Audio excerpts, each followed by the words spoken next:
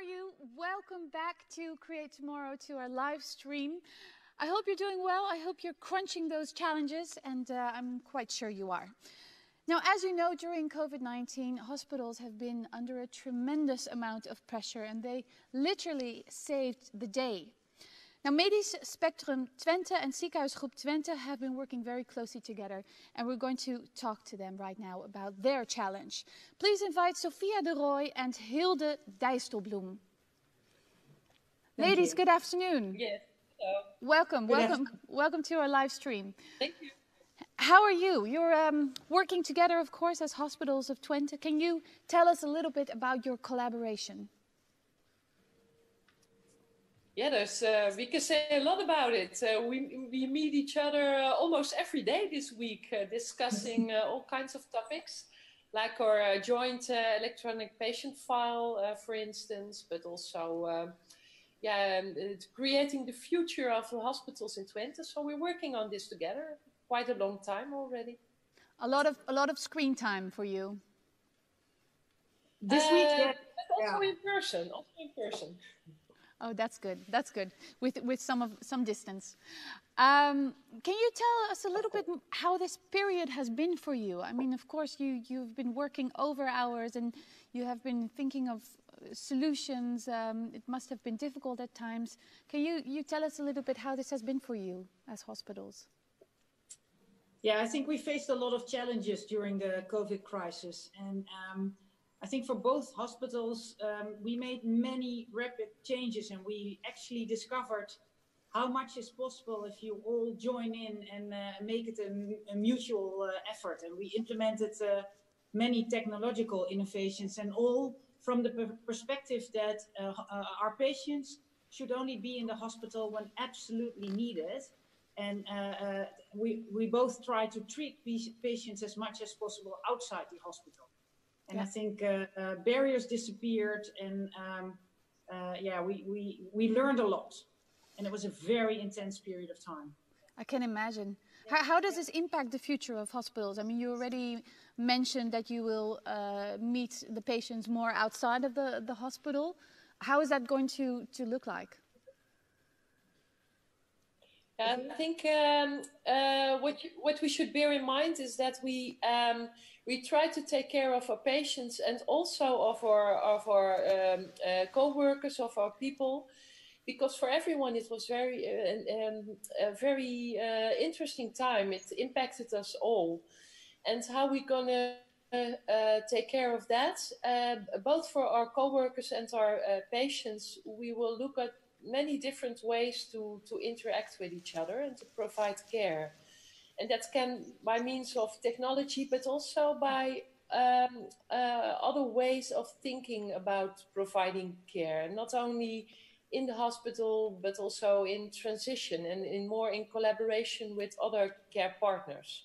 So, um, it, in, in a way, it uh, catalyzed our thinking about uh, how we should do this in near future.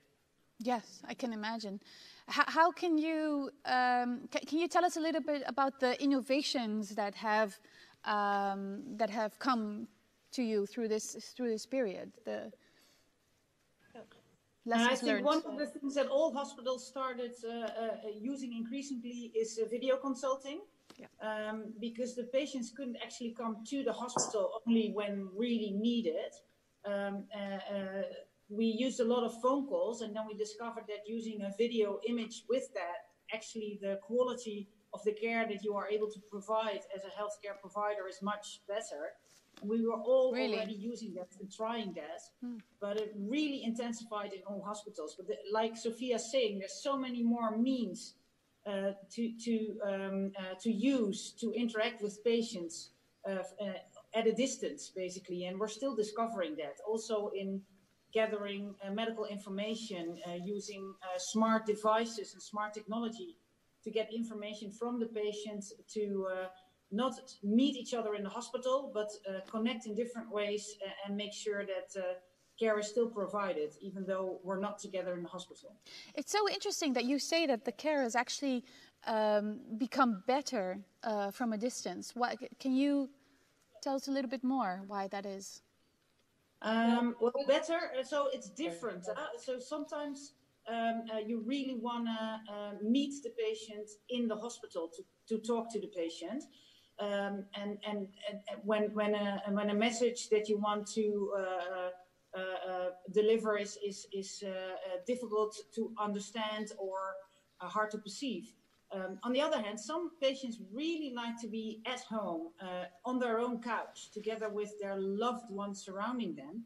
Uh, and, and that also gives you a, a, a very good uh, situation to discuss, but only when there's imaging and you can see each other's emotions. Hmm. Hmm. Yeah, it must be. Sorry. Oh, I thought you wanted wanted to add to that. Yeah, no, it must it must yeah. be. Yeah, go ahead.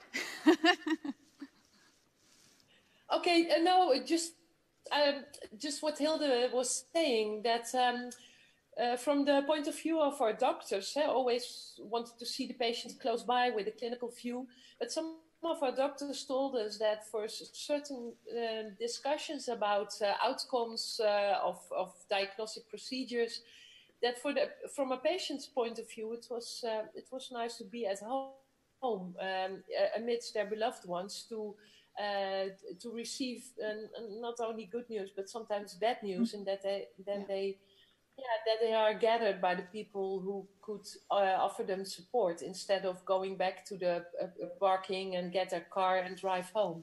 Yeah. So in a way, the video consulting uh, ad also um, uh, had added value in that way. Yeah. And one of the innovations I would like to uh, mention is uh, also in collaboration with uh, with uh, ZGT is the Corona Check, the app providing people information about uh, symptoms of corona uh, infection, and they can handle their own health by means of that app. And we both work together with with other hospitals to provide um, advanced care if that was needed. So that was also an innovation that took place uh, because of Corona and in collaboration uh, yeah. with each other. Well done. That sounds sounds impressive, and it's interesting how this time really um, kind of pushes us, all of us, outside the box to think outside the box. Very, um, very interesting. Um, can you tell us a little bit about the challenge, or actually about the case that you have put before the students, and, and how they can help you innovate within your important work? Well, I'm actually very curious to see what the uh, what the students come up with, particularly because they are um, aware of all the newest technologies and, and, and they combine the latest knowledge um, uh, with the with the latest um, um uh, advanced techniques to um, to maybe improve our healthcare. And and I think, yeah, they're so uh, uh, they're, they're young and they, they're very much able to think outside the box. Whereas in our hospitals, we are so much used to the things that are and the way we do uh, that I, I, I, would really like to see their perspective on uh, how we work and what we do and have all these new um, uh, perspectives from them included. Yeah. And for you, Sophia? Yeah. Can, yeah, for me, for me, it's actually the same. I think they can uh, look at us with other eyes. They can look at us with um, their needs and uh, they ask the good questions. Why are you doing the things like you always do them?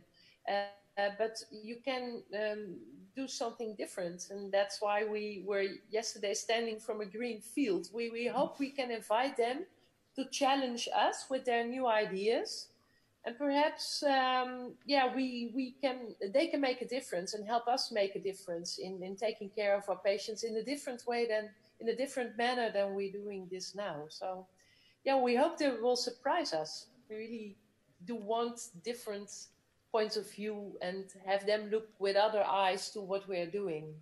Um, would be wonderful. I'm, I'm sure they will. And and so it's actually uh, almost a carte blanche, right? Like it's it involves a new building, and it really involves a, a green field, a, carte, a carte blanche to come Why up. building? Why thinking in buildings? Why? I'm, I'm very traditional. I'm not a student anymore. but you're right. Why thinking buildings? I, I completely agree. That sounds like a good, a good um, way of thinking. Now, depending on the results, of course, uh, how are you going to implement this in, in the structures that already are there as a hospital, hospitals? Uh, well, um, um, I think, well, it's similar as what we were just saying. Uh, maybe we shouldn't be thinking in structures. Uh, and then again, if we need the structures, because of course uh, we need operating theaters and we need uh, uh, technological diagnostics and we need um, some beds because you cannot treat all patients at home. But other than that, I'm pretty much convinced that um, we have infrastructure that could be used for the ideas that they will provide us. And otherwise, uh, let's try different technologies, different means, and think out, outside of traditional structures. Yeah. Well said. Ladies, is there one last thing that you would like to address the students who are working on your uh, challenge? Yeah, I hope you will be our dream team and help us uh, make dreams come true. So please feel invited and try to contact us if you um, are in need of answers for questions you have. So feel free. Yeah, great. You're available the whole day, yeah? Yes. Yeah. Great. Thank you so much, Sophia and Hilda, um, and, and, thank you very much on behalf of all of us for your hard, hard work uh, in these months. And I hope uh, the students will come with great solutions that you can really implement and, and use going forward into our future. Thank you so much. Thank you. Goodbye. Thank you. Bye. Bye. Bye. All right, let's continue the program. Very inspiring conversations with Sophia and Hilda.